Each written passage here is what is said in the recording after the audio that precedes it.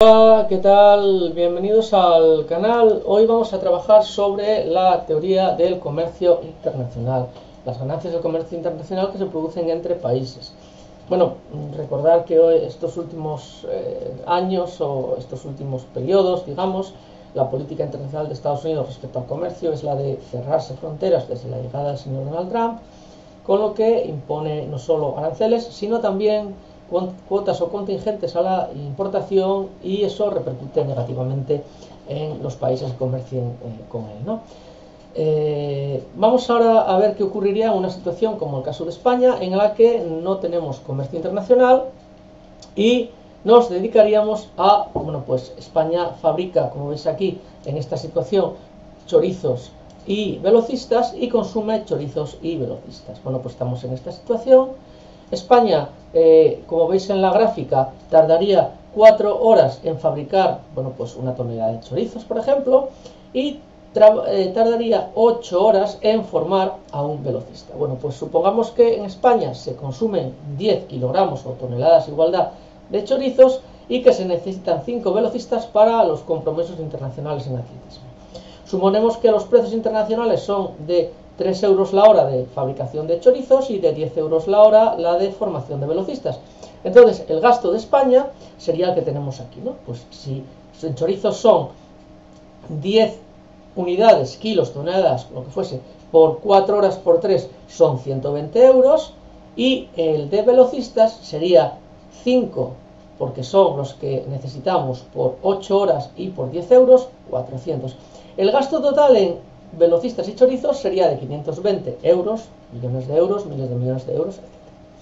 Vamos a lo que sería el comercio internacional. Suponemos que comerciamos con un país que se llama Jamaica, que también fabrica chorizos y velocistas. Bueno, pues según Adam Smith, cada país se tendría que especializar en aquello que tuviese ventaja absoluta, o sea, que supiese fabricar mejor. Entonces, en España seguimos igual, tardamos cuatro horas en fabricar eh, los chorizos, como veis aquí, y 8 horas en fabricar los velocistas. Y Jamaica, como tenéis aquí, tarda 6 horas en fabricar los chorizos y 5 en formar los velocistas. De forma que España tendría ventaja absoluta en fabricar chorizos y Jamaica tendría ventaja absoluta, como veis, en formar velocistas. Bueno, pues España, ¿qué se dedicaría? Pues consumiría o fabricaría chorizos y dejaría de fabricar o de formar velocistas con lo que los compraría a Jamaica. Entonces, el gasto de chorizos en España sería el mismo, serían 120 euros por ser lo mismo que antes, y el de velocistas, como los importa de Jamaica, pues sería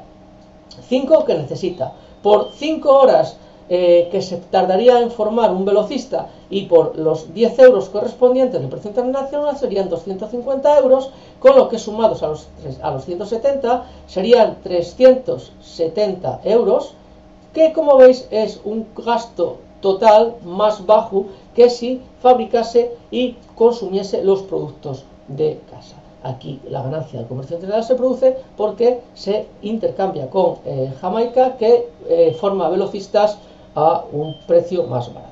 Vamos a suponer ahora que nos encontramos en una situación de ventaja eh, comparativa. La ventaja comparativa eh, o relativa o competitiva se produce cuando un país no tiene ventaja absoluta en ningún mm, de estos productos y no podría comerciar internacionalmente. Suponemos el caso de que Jamaica ahora eh, importó buenos, buenas máquinas fabricantes y, elaboradoras de chorizos y a la vez trajo o eh, contrató a los mejores eh, fabricantes de chorizos que había en España, los llevó para Jamaica y de seis horas como tenía aquí arriba se pasó a tres, con lo que España no podría ni fabricar ni chorizos ni velocistas porque eh, estos costos son más caros. ¿no? Bueno, pues el señor David Ricardo, que este que tenéis aquí, Adam Smith era el que estaba aquí arriba y era el que definió el concepto de ventaja absoluta, David Ricardo define el, concepto de ventaja comparativa y que se basa en lo que es el coste de oportunidad,